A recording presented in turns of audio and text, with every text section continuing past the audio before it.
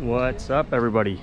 So here I am in Punta Arenas and we just put an offer on this house so it is officially off the market.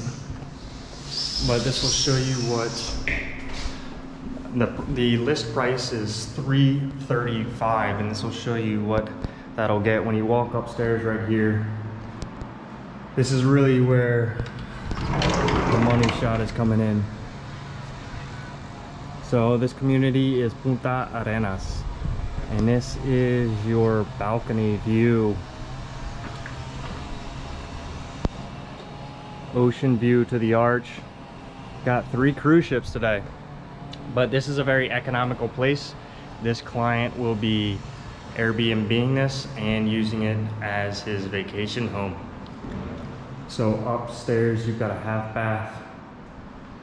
You've got your kitchen and then your living room and dining room. And of course you have this really nice view. This community has a, uh, a pool it has two pools. So this house does not have a pool but you have a really nice backyard which is a great amenity here in Cabo. But let's go take a look at the bedrooms. So coming down the stairs here is the front entrance and then you have the three bedrooms down here. This is the master. So again you've got the nice little courtyard patio right here. And the master shower and bathroom. Once again nothing fancy but this is a really nice place. Good value for the price. Here is the second bedroom. This one has access going out as well. And then this is a shared bathroom so it's two and a half baths. And then here is your third bedroom and this is looking out to the community. One of the really nice things about this place is the plants and stuff outside. You have this yard so it's a lot of green areas.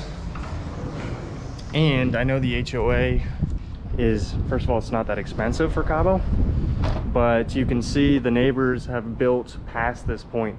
So if this owner wanted to in the future he could extend this. But you've got a really nice green area right here. And these houses this HOA community is nice. Like I said you got two pools and it's just really well taken care of. But this is a solid house three bedroom two and a half bath. For it's listed at just over 330 like I said my client just put in an offer.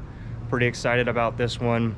It'll be used as a vacation home and also short-term rental when he's not using it. All right so here we are in the pool area.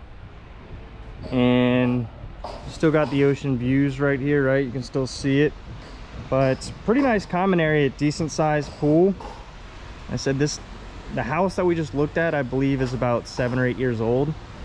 So this is a pretty nice common area nice pool. And this is one of two remember?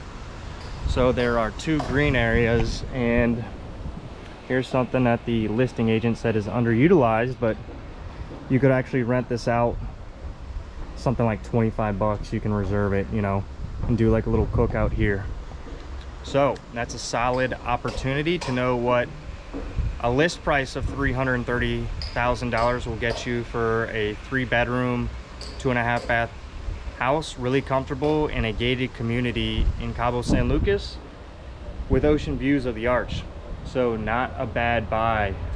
Actually I think my client is gonna be pretty happy with this long term but any questions you guys reach out to me and have a good one.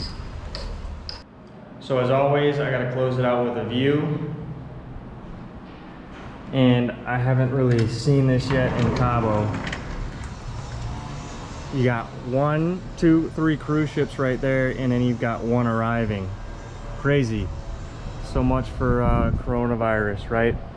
But anyway back to it. If you guys got any questions about buying property here investment properties here airbnbs what have you reach out to me Have a good day.